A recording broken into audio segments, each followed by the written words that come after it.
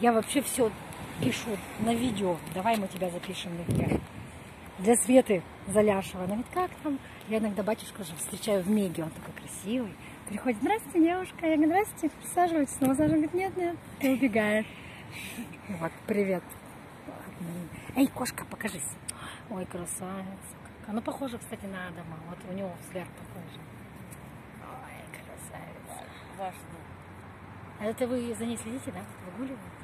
Да, я выгуливаю ее, чтобы... Юбка длинная, я уже как бы отвыкла. Мне же там нельзя в этих юбках ходить, я в джинсах. А я вообще люблю. Мне нравится. Эй, кошка. О, как классно. Такая мягонькая. А у меня тоже рыжий кот. Манюня.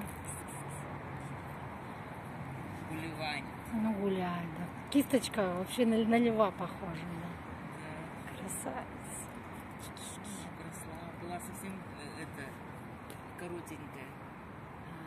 Шерстка так. Под ним срезали все. Что, как у вас дела в епархии-то там? Ну ничего. Тихо как-то. Ну, говорят, дизайн э, взяли менеджера девушку, да? Да. Ну, слава богу. А то Аня говорит, ой, говорит, менеджера нет, никого нет. Я говорю, ну взяли. Хорошо.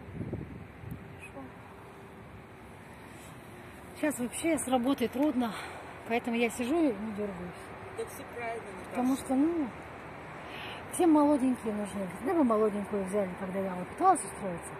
Ну, до 35, потому что после 40 вообще трудно устроиться. Поэтому, слава богу, не увольняют, я сижу. Да, На да. попе ровно. Э, Конечно. Потому Добра, добра не Ну, ищут. да. Тем более нам пенсионный возраст подняли. Ну да, конечно. лет? Мне 48 в этом году уже исполнилось. Уже нормально. Да, какая у вас прическа, мне нравится. Такая модненькая. А я такая, думаю, пойдем через епархию. А я ей предложила через епархию пройти. Да вообще. Что, вам, вам от Светы